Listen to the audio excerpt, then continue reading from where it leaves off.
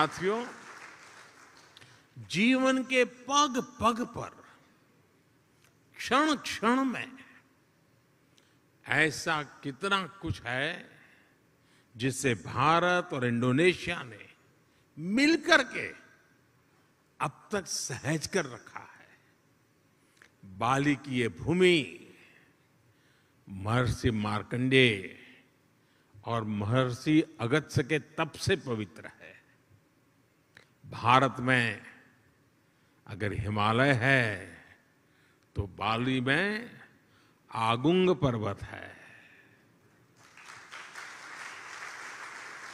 भारत में अगर गंगा है तो बाली में तीर्था गंगा है। हम भी भारत में हर शुभ कार्य का श्री गणेश करते हैं। यहाँ भी श्री गणेश घर घर विराजमान है। सार्वजनिक स्थानों पर शुभता फैला रहे हैं। पूर्णिमा का व्रत, एकादशी की महिमा, त्रिकाल संध्या के ज़रिए सूर्य उपासना की परंपरा, माँ सरस्वती के रूप में ज्ञान की आराधना, अनगिनत चीज़ें हम कह सकते हैं। ऐसी बहुत सी बातें हैं जो हमें जोड़े रखती हैं, जोड़ती रहती हैं। बाली का जन जन, महाभारत की गाथाओं के साथ बड़ा होता है। और मैं तो द्वारकाधीश भगवान कृष्ण की धरती गुजरात से यहाँ पला बड़ा हूँ। मेरा तो जीवन वहीं बीता हुआ है। बाली के लोगों की जैसी आस्था महाभारत के लिए है।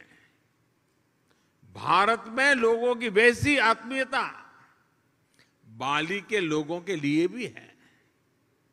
आप यहाँ पर भगवान विष्णु और भगवान राम की आराधना करते हैं और हम जब भारत में भगवान राम की जन्मभूमि पर भव्य राम मंदिर की नींव रखी जाती है तो इंडोनेशिया की रामायण परंपरा को भी गर्व से याद करते हैं।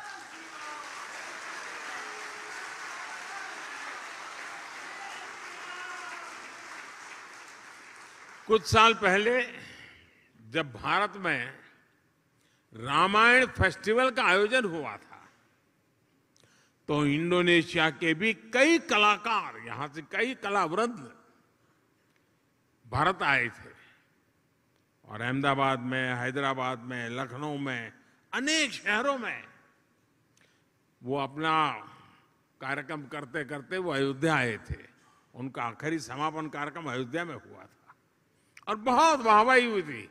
हिंदुस्तान में जहाँ गए, अखबार भरे पड़े रहते थे। भाई और बहनों, बाली में ऐसा शायद ही कोई व्यक्ति होगा जिसकी अभिलाषा नहीं होगी कि अपने जीवन में एक बार अयोध्या या द्वारिका के दर्शन न करे, ऐसा शायद कोई भी इंसान नहीं होगा। भारत में भी लोग प्रम्बानंद मंदिर और गरुड़ विष्णु केनकाना की भव्य प्रतिमा के दर्शन करने के लिए बहुत ही इच्छुक रहते हैं। कोरोना काल से पहले एक साल में ही पाँच लाख से ज़्यादा भारतीयों का अकेले बाली आना ही इसकी गवाही देता है।